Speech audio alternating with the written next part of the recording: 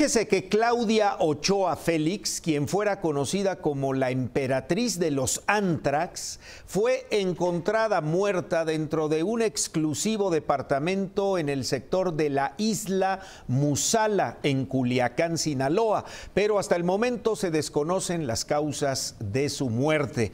Ochoa Félix acudió a un centro nocturno y se retiró durante el sábado por la madrugada en compañía de una persona con quien presuntamente se habría dirigido a su departamento.